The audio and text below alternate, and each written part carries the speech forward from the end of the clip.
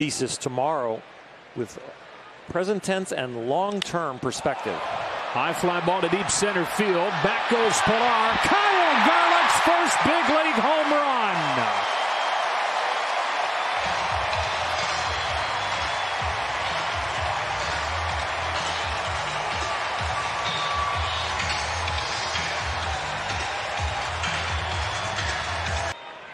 After falling behind, he's worked it full, and now Kyle Garlick swings and launches one down the line. It is gone!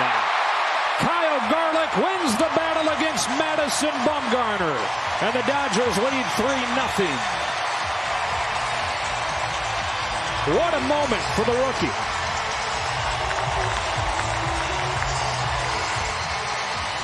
Just not might be a little much. right.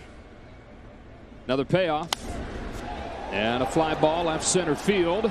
Brinson back on it to the wall. He leaps. It's off the wall. No, it's gone. They say that it's gone.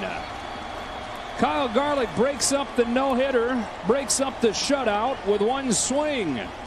It's a home.